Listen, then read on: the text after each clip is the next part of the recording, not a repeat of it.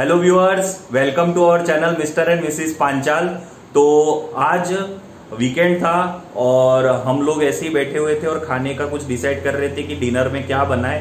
तो एकदम से आरती ने एक रेसिपी का नाम लिया और मैंने उसे बोला कि हाँ आज तो यही खाना है। तो आज जो रेसिपी आरती बनाने वाली है, आरती क्या नाम है उसका? मैं बनाने जा रही हूँ लौकी के कोफ्ते की बिरयानी। और ये बिरयानी ऐसी है कि जब भी हमें बिरयानी खाने की इच्छा करती है और जब भी वेज ही खाना है नॉन वेज नहीं खाना होता है तो हमेशा हम लोग यही बिरयानी बनाते हैं। और फ्रेंड्स आपको बता देता हूँ बहुत से लोगों को लौकी पसंद नहीं आती है। पर ये जो लौकी के कोफ्ते की जो बिरयानी है ना अगर आपने ये बना दी ना तो घर में जो भी इंसान होगा ना वो इसे बड़े चाव से खाने वाला है। आपको लगेगा ही नहीं कि ये लौकी है। हाँ और एक और बात फ्रेंड्स मैं सच बता रहा हूँ हमने ये लौकी के कोफ्ते की बिरयानी इससे पहले भी घर पे बनाई है।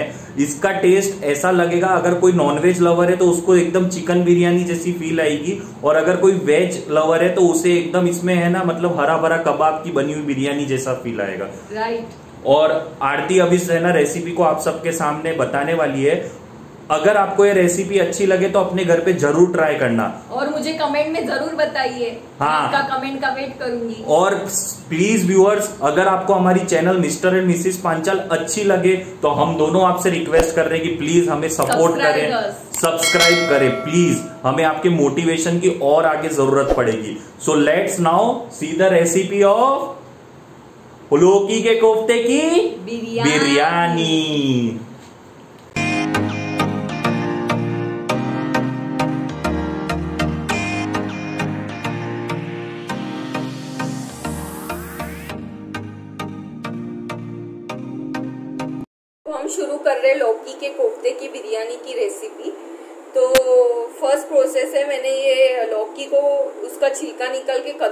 करा है। उसमें मिर्ची, धनिया और सारे जो मसाले होते हैं, सूखे मसाले, वो ऐड करने हैं। अदरक, लहसुन की पेस्ट ऐड करनी है और बेसन ऐड करके उसका यहाँ पे मैंने राइस भी बॉईल करके रखा है 80 परसेंट क्योंकि हम लोग बाद में बिरयानी को दम लगाएँगे। तो 20 परसेंट उसमें पक जाएगा, इसलिए 80 परसेंट अभी मैंने राइस में सारे खड़े मसाले डाले जैसे लौंग, हो तेज पत्ता और बड़ी इलायची सब डाला है मैंने। जीरा भी थोड़ा सा डाला है और बॉईल करके रख दिए। तो ये मैंने आपको जैसे बोला था मैंने बेसन और इसमें ऐड करा और, और ये इसको एक बात याद रखिए इसमें आप पानी बिल्कुल मत डालिए क्योंकि इसमें नमक डालने के बाद अपने आप ही पानी छूट गया है। तो इसमें लौकी का पानी है ना लौकी हाँ, ने पानी तो इस इसमें बिल्कुल भी पानी मत डालिए और ये ये वैसे मैंने थोड़े तल के रखे हैं ये और अभी आरती ने ये थोड़े से कोफ्ते जो हैं ये बना के अभी बना तेल के, में तेल गरम करके अभी ये थोड़े से निकाल के ये देखिए आप कितने क्रिस्पी एकदम तेल आप में ऐसे भी खा सकते हो बहुत अच्छे हाँ ये ऐसे हम पकोड़े की तरह भी खा सकते हैं। अभी तो देखिए आरती जैसे ये डाल रही है इनके गोले। छोटे छोटे गोले डालिए आप ताकि अच्छे से पक जाए अंदर से। और मीडियम गैस पे ही आपको रखना है। हाँ नहीं तो जल जाएँगे से अंदर से अच्छे से पके। हाँ जल भी जाते हैं और अंदर से कच्चे रह जाते हैं इसलिए मीडियम आँच पर ही इसको तलने दो। तो ये कोफ्ते आप देख सकते हैं आरती ने कोफ्ते बनाने की शुरुआत कर दी है और और ये मैंने तीन मीडियम साइज़ प्याज ऐसे काट के रखे हैं। इसको मैं तल के बाद में ब्राउन करूँगी। हाँ जो बिरयानी के ऊपर जो ब्राउन प्याज डाले जाते हैं तो अभी उसके लिए ये प्याज भी कट चुके हैं ताकि इनको और ब्राउन इसमें से थोड़े ब्राउन प्याज मैं ग्रेवी के लिए भी यूज़ करूँगी आगे और आधे में रखूँगी गार्निशिंग के लिए। हाँ तो अभी मैंने ये ब्राउन करके रखे हैं प्याज। ये देखिए कैसे लग रहे हैं। ब्राउन करके रखे और मेरे ये इसके पकोड़े भी पूरे मैंने कोफ्ते बना के रखे और ये मैंने प्याज आधे रखे थे ब्राउन करके रखे। अभी इसमें मैं तीन मीडियम साइज़ आप ये देखिए, मैं इसमें ही यूज़ करती हूँ। ये कटर में ही पीसती हूँ। तो इसमें मैंने अच्छे से कद्दूकस करा है टमाटर। मीडियम साइज़ होंगे तो आप तीन लीजिए और छोटे होंगे तो चार लीजिए। तो ये टमाटर इसमें मैं डाल रही हूँ।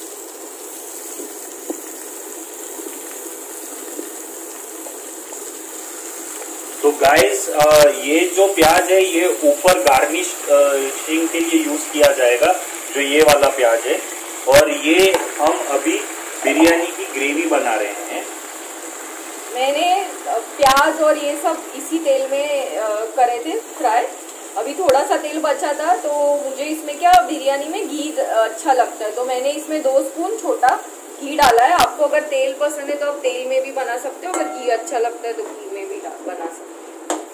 और ये मैंने जो मसाले इसमें, अभी मैं अच्छे से इनको भून दूँगी प्याज और टमाटर को।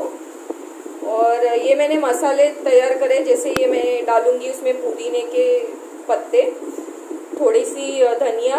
और ये मैंने मसाले में लिए है लाल मिर्च, धनिया पाउडर, जीरा पाउडर, और बिरयानी मसाला लिया है, और नमक लिया ठीक है? नमक हमने पकोड़े में भी डाला था राइस में भी मैंने थोड़ा सा नमक डाला था बॉईल करते वक्त तो आप उसी अंदाज से डालिए। और मैंने तो मैं ये मसाला यूज़ करती हूँ एवरेस्ट का बिरयानी मसाला। तो मुझे यही अच्छा लगता है।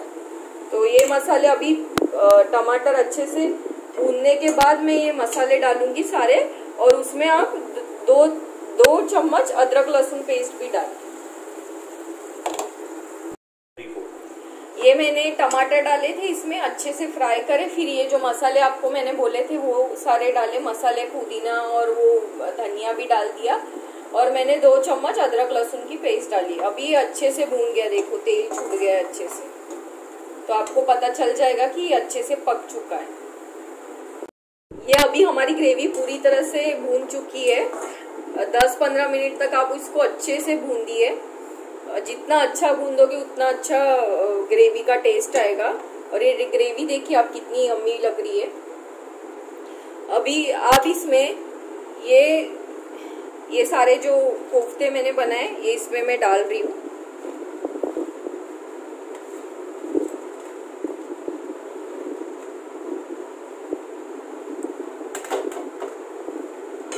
और ये कोफ्तों को अच्छे से मिक्स करे ग्रेवी के साथ।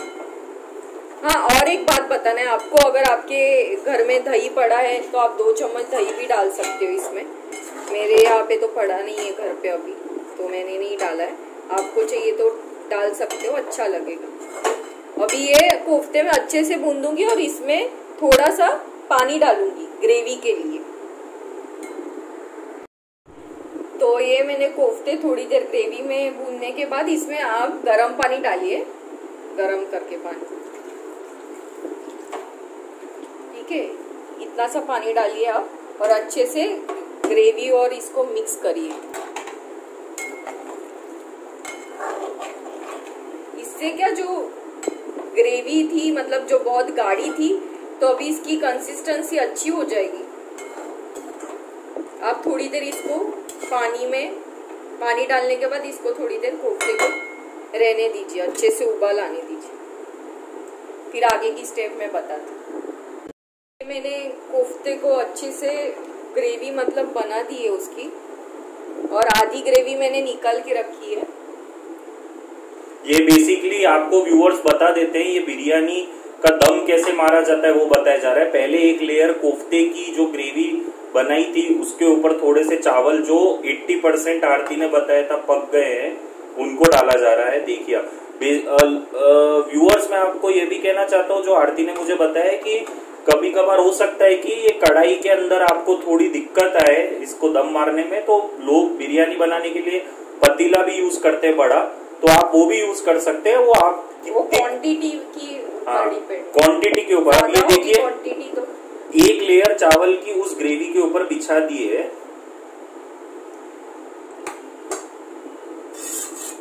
अब आप देखें जो बचा हुआ और ग्रेवी है कोफ्ते का वो अब इसके ऊपर एक और लेयर अब डाली जा रही है चावल के ऊपर।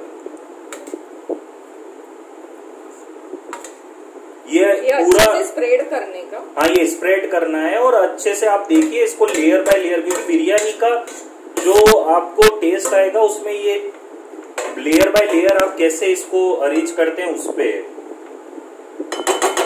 अब इसके ऊपर आप देखिए आरती अब थोड़ा सा धनिया। धनिया थोड़ा सा थोड़ा सा जो गार्निश की ब्राउनी प्याज है, उसको डाला जा रहा है, देखिए आप। अब इस लेयर के ऊपर बचे हुए चावल फिर से डाले जाएँगे।